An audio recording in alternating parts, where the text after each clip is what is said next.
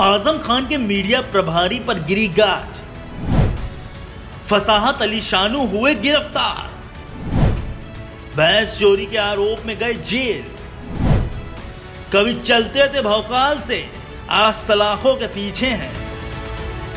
ये हैं फसाहत अली खान उर्फ़ शानू। एक वक्त था जब रामपुर से लेकर पूरे प्रदेश में फसाहत अली की तूती बोलती थी। जिस थाने के पुलिस वाले फसाहत को सलाम ठोकते थे। आज उसी थाने के पुलिस वालों के सामने फसाहत अली चोर बने बैठे हैं। जी हाँ फसाहत अली पर आरोप है कि उन्होंने लूट और डकैती के साथ साथ भैंस भी चोरी कर ली। अब आप सोच रहे होंगे कि आखिर कौन है फसाहत अली शानू, जिनकी गिरफ्तारी को लेकर देश भर में हलचल है?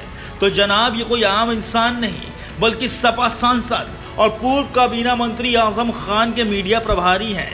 लेकिन जब से आज़म खान पर सीएम योगी की नज़रें टेढ़ी हुई, तभी से फसाहत साहब की भी उल्टी गिनती शुरू हो गई।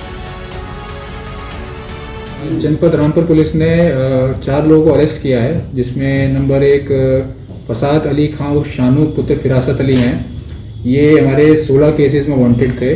इनका यतीम खाना प्रकरण में इनके खिलाफ मारपीट, लूट, डकैती और तोड़फोड़ में मुकदमा लिखा गया था। इनसे जो बरामदगी हुई है, उसमें कैश है, ज्वेलरी है, और दो भैंसे जो ये उस टाइम पे लूट के ले गए थे वहाँ से, वो इनके खेत से बरामद हुई है, जिसको वादी ने आइडेंटिफाई भी किया है। इनके खिलाफ पुराने आठ केसेस की क्रिमिनल हिस्ट्री है और बाकी हिस्ट्री इनकी निकाली जा रही है विभिन्न थानों से। दूसरा केस है, उसमें पीएस गंज में हमारा एक वांटेड था, सज्जाद खां, उसको अरेस्ट किया गया है। इसके खिलाफ दो मुकदमे दर्ज थे। दोनों में इसकी रिकवरी हुई है कैश की। साथ में इसका आपराधिक इतिहास है। चार मुकदमे इस पे दर्ज विभिन्न थानों में, गंज पे और सिविल लाइन में पुलिस के मुताबिक पिछले काफ़ी अरसे से आज़म खान के मीडिया प्रभारी फसाहत अली शानू फरार चल रहे थे और पुलिस उनकी तलाश में खाक छान रही थी। लेकिन अब आखिरकार पुलिस ने फसाहत अली शानू को गिरफ़्तार कर लिया है।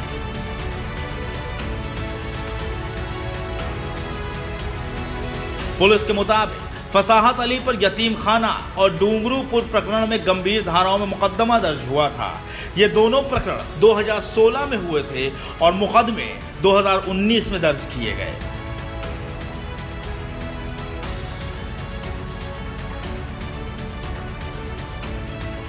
मुकदमे दर्ज होने के बाद शानू फरार चल रहे थे। पुलिस ने उनके खिलाफ गुंडा एक्ट की कार्रवाई की। और प्रशासन ने उनको छह महीने के लिए जिला बदर भी घोषित कर दिया, जिसकी मियाद 29 मई को खत्म हो गई।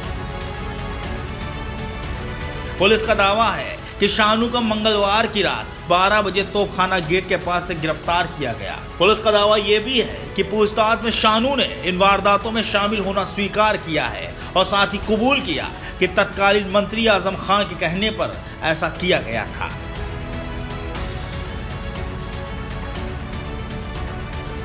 उनकी निशानदेही पर थाना कोतवाली पुलिस ने अलग अलग मुकदमों से संबंधित लूट और चोरी के रुपए समेत माल बरामद किया जिसमें दो भैंसे भी शामिल हैं। पुलिस के मुताबिक भैंसों के मालिक ने इनकी पहचान भी कर ली। फ़िलहाल फसाहत अली को स्थायी जेल भेज दिया गया है। वक्त भी क्या खेल खेलता है। एक वक्त था जब फसाहत अली का रुतबा पूरे शहर में कायम था। कोई भी उनके सामने खड़े होने की हिम्मत नहीं जुटा पाता था, लेकिन आज वही फसाहत अली खान, भैंस चोरी के आरोप में जेल चले गए। रामपुर से न्यूज़ टाइम नेशन के लिए शाहबाज खान की रिपोर्ट। सब्सक्राइब करें आपका अपना चैनल न्यूज़ टाइम नेशन और हर खबर सबसे पहले पाने के लिए बेल आइकॉन ज़रूर दबाएँ।